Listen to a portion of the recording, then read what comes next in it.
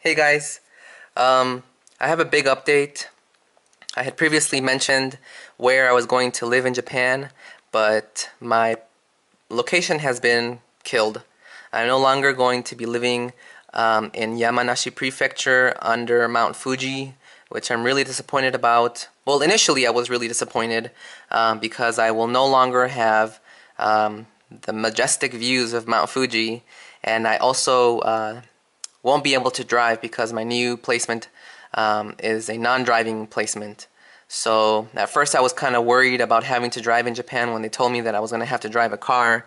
Um, but then I quickly realized that having a car means freedom and being able to go anywhere I wanted. Um, but that's okay. So my new placement is in Shizuoka Prefecture, uh, which is the, the prefecture next door. And um, the population of my new city is over 800,000 uh, compared to the other city, which was about 50,000. So the public transportation system is a lot better to accommodate all those people. And um, I'm also right um, by the ocean, which is a good thing and a bad thing at the same time.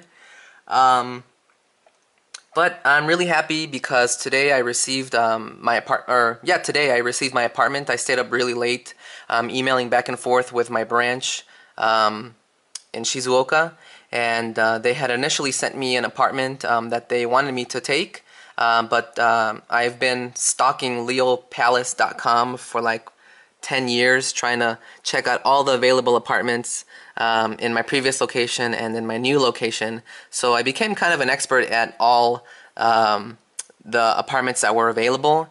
And when I found out where uh, my schools were going to be, I quickly went back to leopalace.com and uh, did some refined searches. And I found an apartment that I really, really like.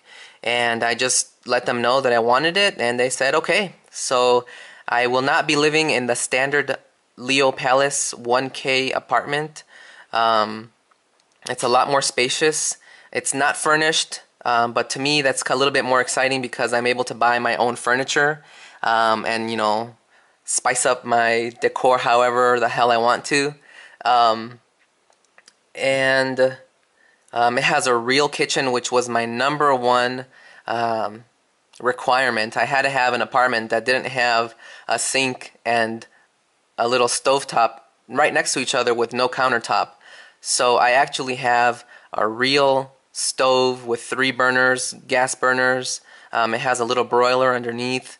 Um, I have a large uh, counter for cutting, um, and then I also have a large sink, as well as like a little window bar that I can serve food to people um, that are on the other side of the wall.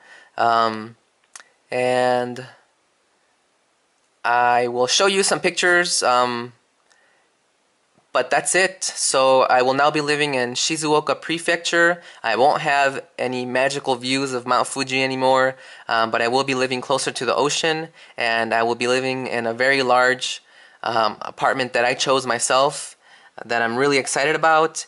And I also happen to know somebody else um, that has a YouTube channel um, that will also be living in Shizuoka Prefecture in the same town as me. So I'm looking forward to that um, and meeting the rest of my new coworkers and or neighbors. So thanks for listening and I leave to Japan on the 18th of March which is a couple days from now. Um, once I get to Japan I'll probably be posting videos through my iPhone um, so you know be prepared for lower quality video but thank you for watching and have a good day or afternoon. Bye.